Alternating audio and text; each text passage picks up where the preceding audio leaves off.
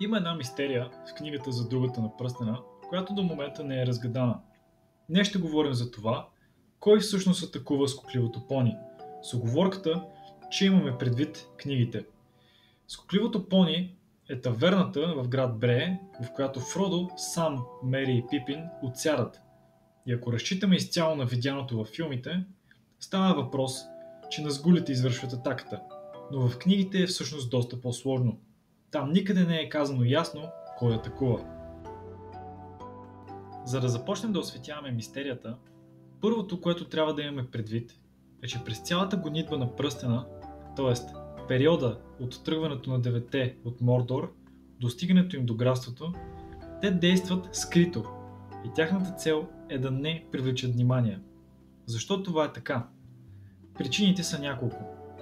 Като имаме предвид, че почти никой не е знаел точно къде се намира пръстена и че Саурон се страхува от това някой да не го вземе и да го използва срещу него, например Гандалф, Назгулите не са искали да привличат вниманието на местното население, защото това потенциално може да привлече вниманието на елфи, например синовете на Елронд, Еврохир и Еладан, на останалите донаданци в а дори и на Сароман и Гандалф. А всяка една от тези групи би могла да прогони конниците, които се разделят, за да покрият повече пространство. Една директна атака срещу таверната не изглежда в тон с това, което черните конници вършат до онзи момент. И в глава 10 от За другата на пръстена има диалог между хобитите и Арагорн, където бързоход изразява съмненията си. Какво ще се случи, запита Мери. Ще нападнат ли страноприемницата? Арагорн отговаря, не, не вярвам. Още не са се събрали всички и във всеки случай те не действат така. Най-силни са сред мрак и самота.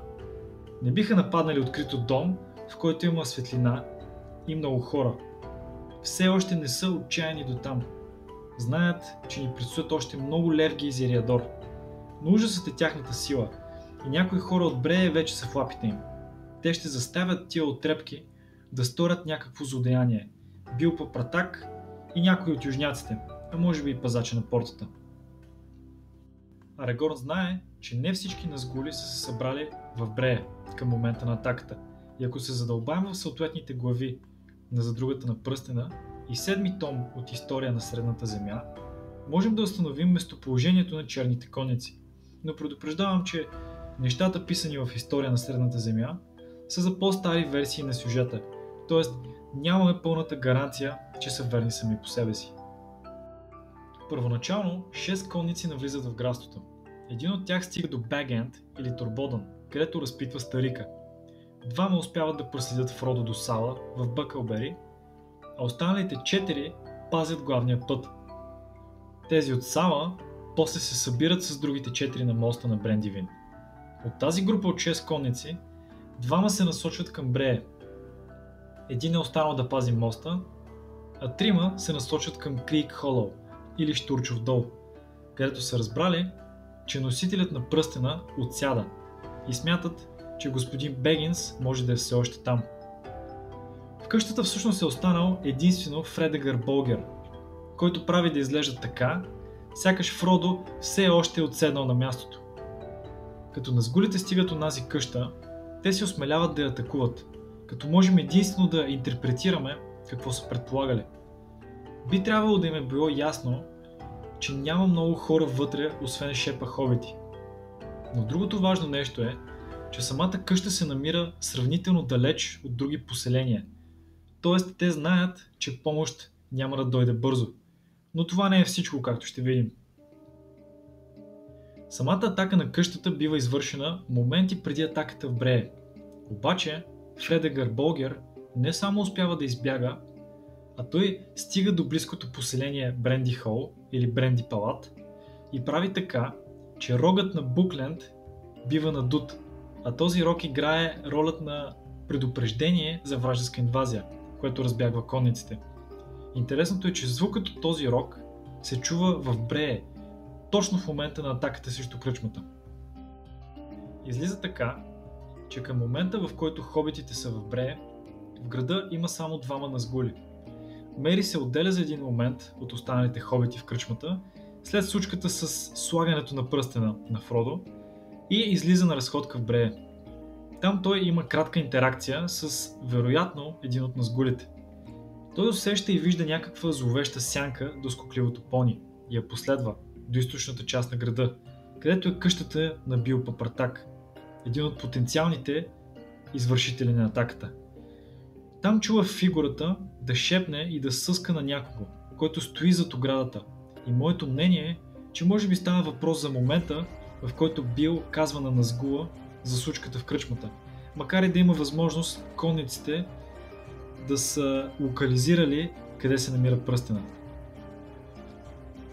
Назгулът най-вероятно в един момент усеща, че бива следен, тъй като Мери изведнъж започва да го обзема страх и се опитва да се върне.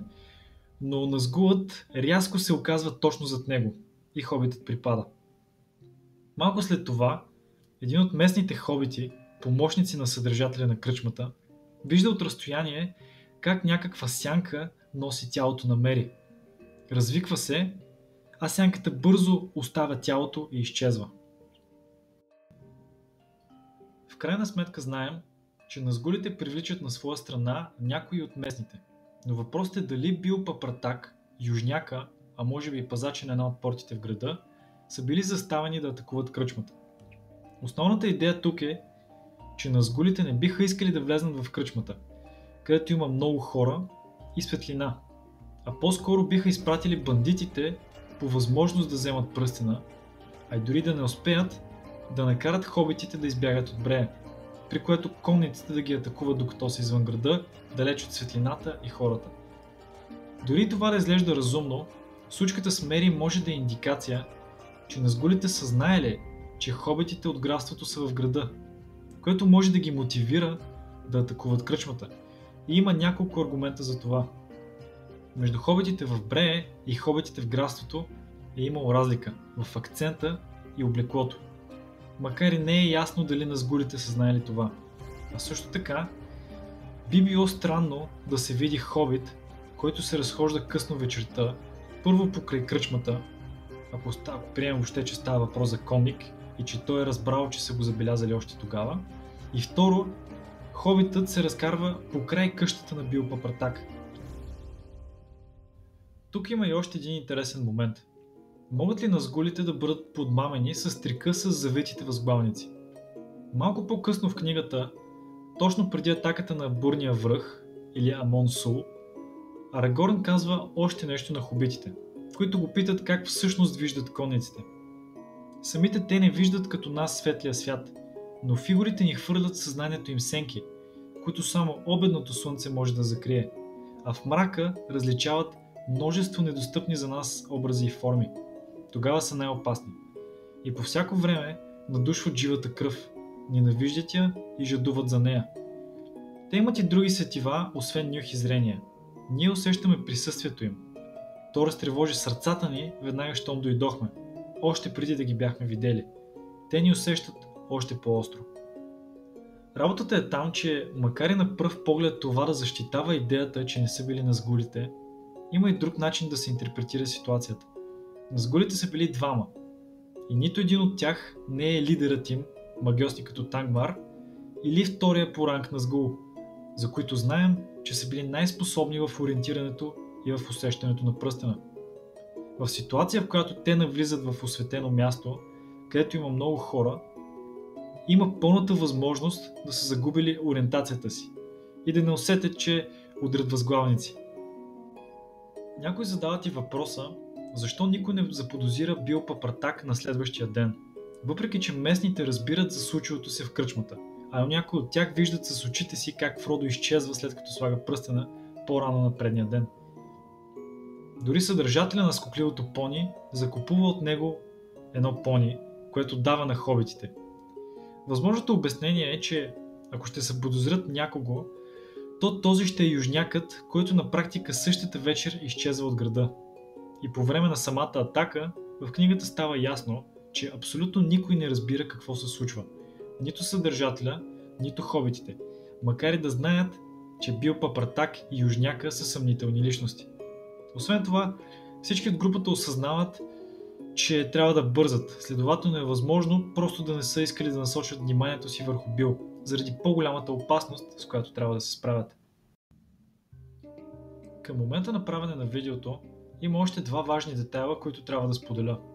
В споменатия седми том от История на Средната Земя, където виждаме как са изглеждали някои от записките на Толкин в процеса на създаване на неговите книги, има един пасаж на страница 71, където в рамките на историята, както е виждал Толкин към момента на писането на въпросните записки, е казано ясно, че Бил и Южнякът атакуват понито, но се провалят.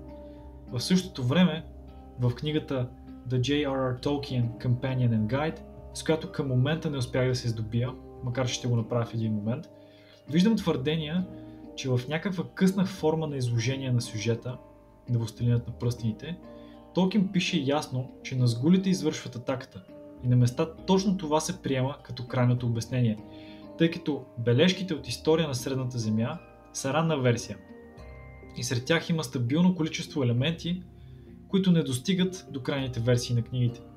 Ако приемем това изложение, то тогава става ясно, че всъщност назгулите извършват атаката. И за момент аз подкрепям именно тази идея. Но определено ще трябва още по-задълбочено интерпретиране на книгите, за да може да се даде обоснован отговор.